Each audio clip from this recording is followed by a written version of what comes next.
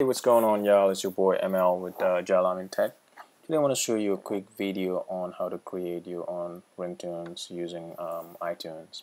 Alright, so if you have your favorite song uh, on your iPhone or on your iTunes and you want to uh, you know, create a ringtone version of that, so when you get a call, you know, that song will be playing.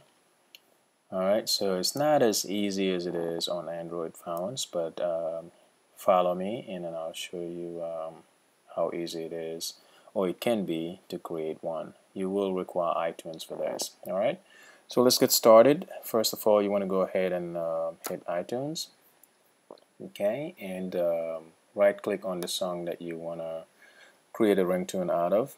Okay, next step, go ahead and hit create AAC version. Okay, depending on how big the file is, this might take some time. So I might just fast forward the video uh, and we'll get to the next step.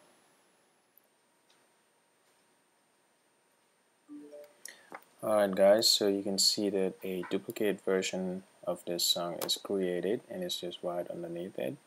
So next step, go ahead and right click on it and hit get info and uh, among these tabs right here you want to go ahead and click options okay? Um, and uh, what we want to do is uh, choose the duration of the ringtone. You can change the start time you know if you don't necessarily want it to ring from the starting of the song or if you don't want it to play from the starting of the song you can change that. But for this song I wanted to start from the top so I'm going to leave that to zero okay? And uh, down here I'm going to change that to uh, 15 seconds. Okay so basically this song is gonna last for 15 seconds. You can do up to 40 seconds that's uh, about the top Apple lets you do. Okay so we're gonna go ahead and hit OK. Okay um, you can still see that the duration remained but that's gonna change once we do the next step. So we want to go ahead and hit uh, right click on the modified song and uh, hit create AAC version. Okay and it's gonna convert again but this time it will be faster because the uh, song is shorter. Okay now uh, you can see that there's another um, you know copy of that uh, except this one is only 15 seconds. So this is your ringtone right here so what you want to do is go ahead and drag that to the desktop. Okay. And while you're back on iTunes, we're going to go ahead and delete all the other songs except the original. You don't want to delete that unless you just don't need it on iTunes anymore. Alright, so we're back to the original song. Now we're going to go ahead and uh, minimize out of iTunes and uh, we're going to work on this ringtone right here.